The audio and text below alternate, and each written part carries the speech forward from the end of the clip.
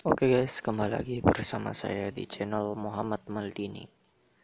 Kali ini saya akan memberikan informasi penting tentang YouTube. Nah, di sini saya tadi mendapatkan email dari YouTube bahwa ada perubahan persyaratan. Um, nah, ini dia guys yang di atas uh, dia mengirim jam 5 guys. Lewat 10 menit. Dan di sini ada uh, apa ya email dari YouTube. Langsung saya tak klik. Nah di sini ada perubahan pada persyaratan layanan YouTube. Di sini tadi saya sudah membacanya guys. Jadi saya akan menjelaskan sedikit saja guys. Nah kalian bisa lihat pesannya ini YouTube. Anda menerima email ini karena kami memper, memperbarui persyaratan layanan YouTube atau persyaratan. Untuk memperjelas persyaratan kami dan memberi transparasi kepada pengguna kami, persyaratan ini juga telah diperbarui untuk pengguna di Amerika Serikat pada November 2020. Jadi uh, di Amerika di Amerika sendiri sudah berlaku ya guys pada bulan November tahun 2020, jadi tahun lalu. Perubahan ini tidak akan membuka akses atau pengguna layanan YouTube oleh Anda secara signifikan. Nah, rincian perubahan. Di sini ada tiga ya guys, jadi saya sebutkan satu-satu dulu guys.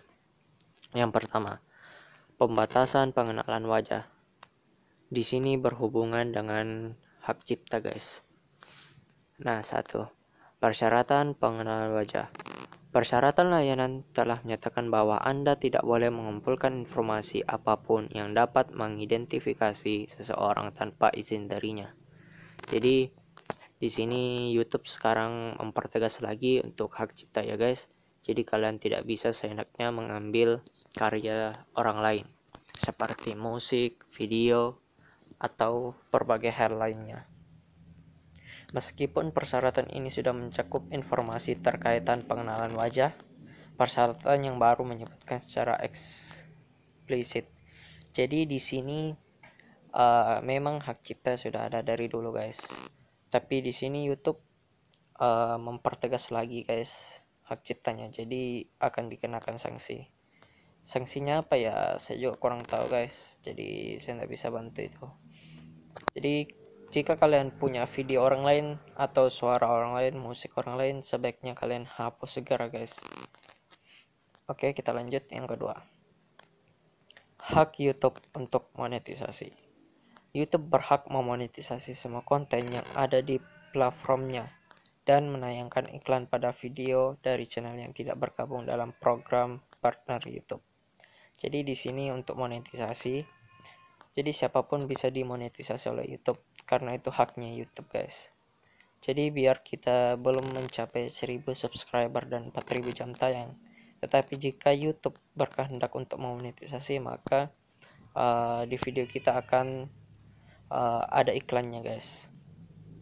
Dan sebaliknya juga jika kita sudah mencapai target yaitu 1000 subscriber dan 4000 jam tayang tetapi YouTube tidak uh, apa ya tidak ingin memonetisasi channel kita maka iklan di video kita tidak akan pernah muncul guys.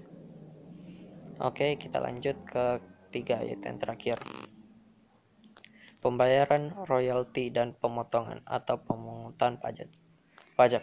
Jadi di sini untuk yang sudah monetisasi ya guys. Nah di sini terdapat pemungutan pajak. Jadi dari pendapatan kalian akan dikenakan pajak guys. Ya berapa? Uh, saya juga tidak tahu guys. Tetapi setiap youtuber itu berbeda-beda pajaknya guys. Oke langsung saja kita baca. Untuk kreator yang berhak menerima pembayaran pendapatan pembayaran tersebut akan diperlakukan sebagai royalti dari perspektif pajak Amerika Serikat dan Google akan memotong atau memungut pajak apabila diwajibkan menurut hukum. Jadi di sini memang uh, Google akan memotong atau mengut pajak. Jadi kita tidak tahu seberapa besar pajaknya. Karena sekarang uh, selama masa pandemi ini tiap negara bahkan di Indonesia sendiri uh, sudah banyak menjadi youtuber. Karena pandemi ini mereka ber uh, apa ya mereka menjadikan YouTube untuk uh, menghasilkan uang.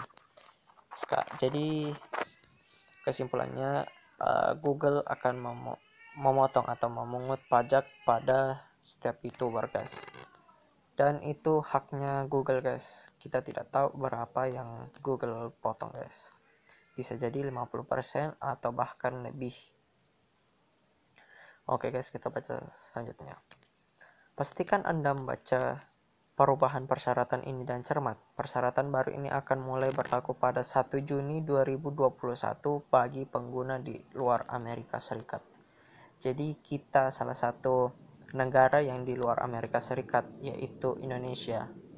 Akan ditetapkan persyaratan ini mulai 1 Juni 2021 jadi sekiranya bagi kalian yang masih memiliki tanda-tanda di atas yang masih melanggar sebaiknya kalian perbaiki lagi ya guys.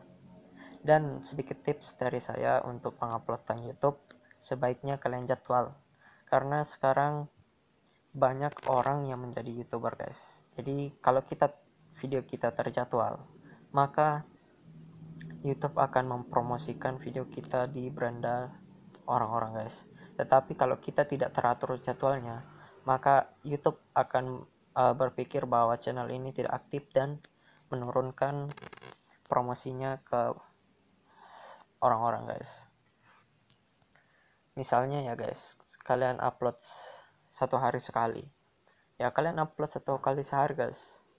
Satu video atau dua video guys itu harus setiap hari. Atau satu minggu satu kali satu bulan satu kali dan lain-lain guys. Nah seperti contohnya saya sendiri. Saya mengupload video setiap hari Sabtu jam 12 malam. Jadi kalian bisa ikutin uh, seperti saya ataupun kalian bisa atur jadwal kalian sendiri. Mungkin cukup itu saja yang bisa saya sampaikan uh, untuk video kali ini yaitu peraturan youtuber terbaru nah ini sama guys. Karena dia spam youtube guys. Ini dia kirim jam 9.46 terus ada lagi guys. Nah ini lagi.